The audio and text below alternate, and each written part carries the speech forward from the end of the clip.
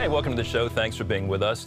You know, a recent study from Harvard revealed that 61% of young adults are currently experiencing serious loneliness. Well, if you're watching this right now and you're also dealing with isolation or loneliness, loneliness, de definitely know that you are not alone.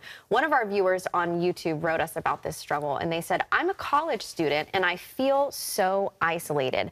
I had a few friends that God told me to walk away from because they were leading me into sin.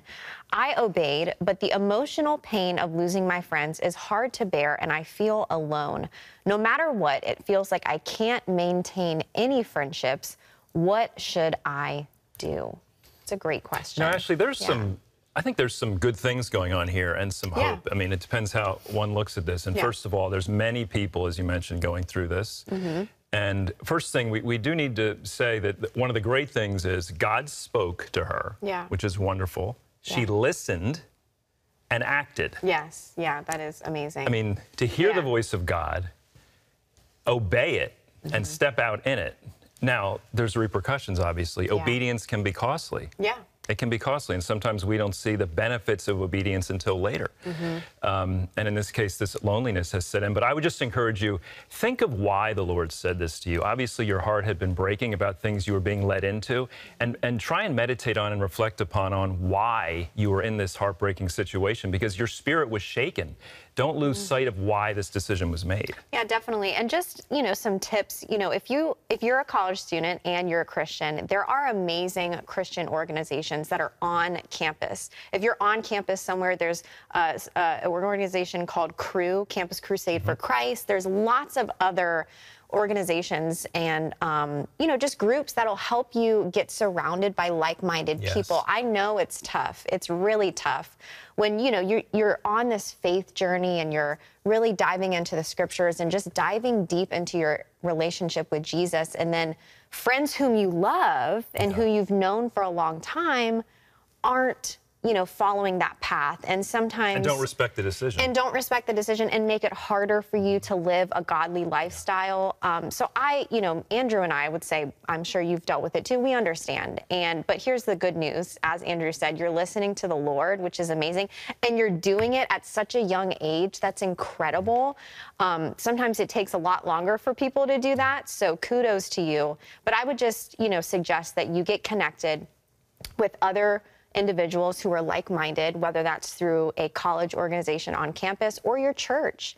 You know i i have connected with individuals who are even older than me in my church Mentorships, mentorships are huge. I wouldn't be where i am today if it wasn't for mentors in my life who are older and who can you know just help guide you And I know Yeah. there's this loneliness that comes about, very realistic, but there's also a peace that comes with stepping out of a particular lifestyle that you felt was not for you and you felt the Lord wanted you out of.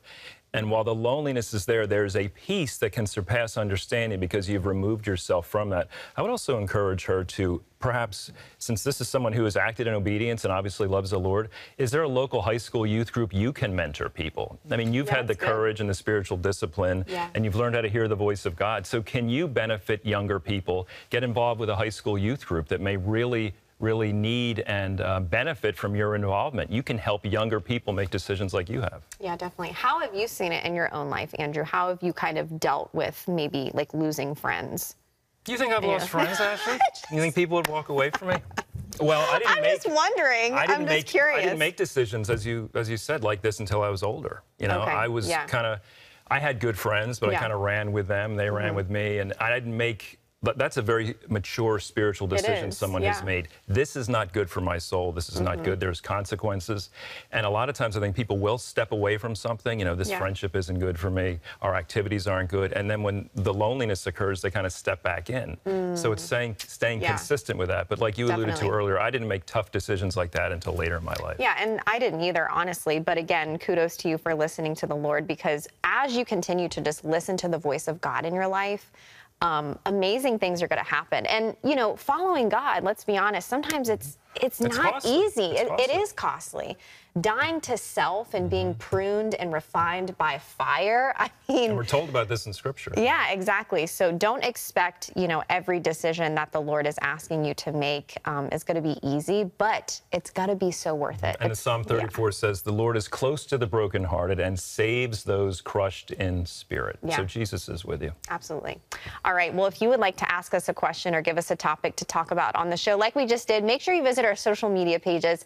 Look for the posts on different platforms such as Facebook and Instagram at 700 Club Interactive. You can also visit our YouTube page where we also post on the YouTube community tab with questions. Uh, so make sure you check us out on YouTube for extended interviews and stories and clips like this. Hey everyone, I'm Ashley Key. Thank you so much for watching this video. Be sure to like, subscribe, and hit the notification bell so we can reach more people with encouraging content like you just watched and so you never miss a beat. See you next time and God bless.